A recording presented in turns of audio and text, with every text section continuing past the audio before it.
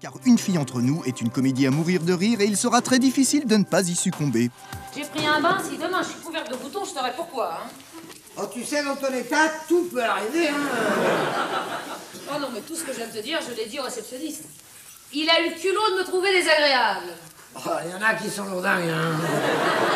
Alors le point de départ, euh, c'est un, un homme marié, trois enfants. euh, c'est moi d'ailleurs, il s'appelle Maurice. Et, et ce brave homme a rencontré une fille beaucoup plus jeune que lui.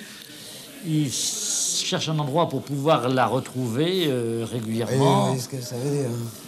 Et oui, Non, Quoi? Faut pas me brusquer. Je te brusque pas. Si tu m'oppresses. Moi j'ai besoin de temps. Ah non mais prends-le, on a 1h45.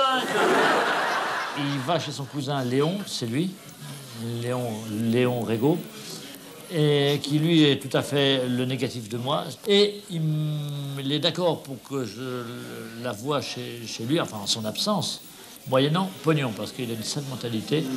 Ah, c'est pas Gauthier Gauthier Changement de programme Mon dentiste vient de faire sauter un client et me garde Eh ben, ben, je me fais faire un détartrage L'histoire avançant, euh, Léon s'intéresse aussi à la demoiselle, ce qui ne m'arrange pas. Puis euh, viennent, interviennent euh, ma femme, puis un couple de Lyonnais assez rigolo. Oh bah moi, tu sais, avec mes trois lascars, j'ai plus une minute à moi. Le mois dernier, Mathieu, il m'a fait la rougeole. Amélie, la rubéole. Et lui, tu sais ce qu'il m'a fait, ce grand dadais, il y a 15 jours? Les oreillons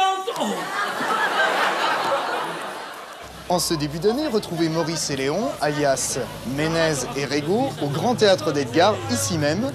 Une fille entre nous est une comédie d'Éric Assous, mise en scène par lui-même.